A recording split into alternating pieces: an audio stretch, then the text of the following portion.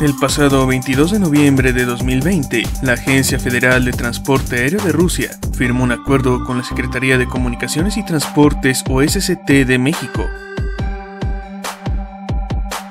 Aunque de acuerdo con fuentes cercanas, dicho acuerdo se mantuvo confidencial hasta ahora para evitar presiones externas y de esta manera facilitar el proceso de certificación y validación para las aeronaves rusas de ala rotativa en México.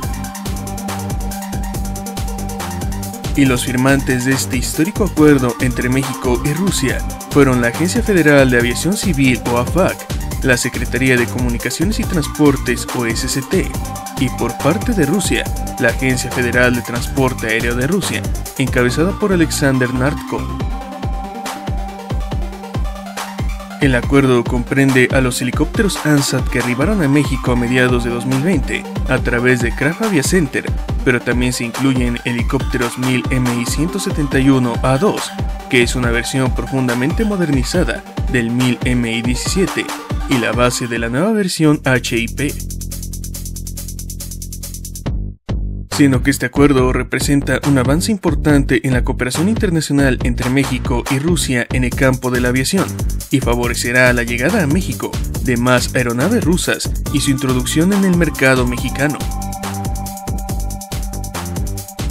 Y por su parte, representantes de Kraft Avia Center lo consideraron un acuerdo histórico, ya que este agilizará la relación comercial entre México y Rusia y permitirá que la firma mexicana, que ya cuenta con instalaciones para dar soporte a estas aeronaves, tenga un mayor crecimiento y traiga aún más aeronaves rusas a nuestro país.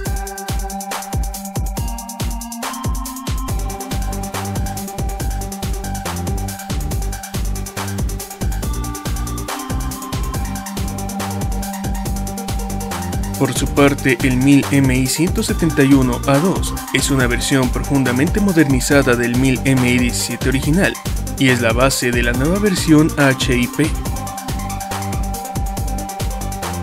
En realidad, este es un viejo conocido en México, ya que por años la Marina y Fuerza Aérea Mexicana han empleado el 1000 MI-17 y es muy apreciado gracias a su capacidad de carga y a la robustez de su diseño, que además se adapta a todo tipo de misiones. El 1000 MI-171A2 tiene una longitud de 18 metros y un diámetro de rotor principal de 21.4 metros, con un peso vacío de 7.100 kilogramos y un peso máximo de despegue de 13.000 kilogramos. Asimismo, tiene una capacidad de transporte para hasta 32 pasajeros o una capacidad de carga de hasta 4.000 kilogramos, y es por ello que esta aeronave ha sido utilizada para puentes aéreos y para transportar víveres y medicinas a zonas de desastre natural, demostrando que es una excelente aeronave de transporte y carga. Su velocidad máxima es de 250 km por hora y tiene un alcance de 950 km, así como un régimen de ascenso de 8 metros por segundo y un techo de servicio de 6.000 metros. Mientras que ha jugado un papel destacado en el combate a incendios forestales y otros desastres naturales, empleándose en operaciones que requieran sus capacidades únicas en México.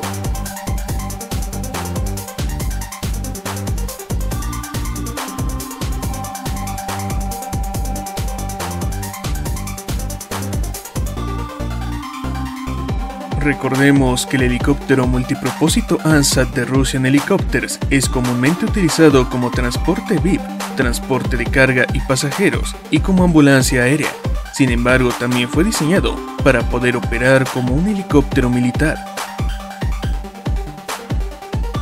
El Landsat ya ha superado las pruebas de montaña, lo que significa que es capaz de operar con seguridad altitudes superiores a 3.500 metros, lo cual es algo vital para una aeronave,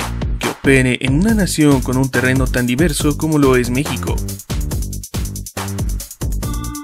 Asimismo, el Ansat es considerado un helicóptero ligero, bimotor y multipropósito, que es producido por la planta de helicópteros de Kazán y está diseñado para transportar a entre 7 y 9 personas.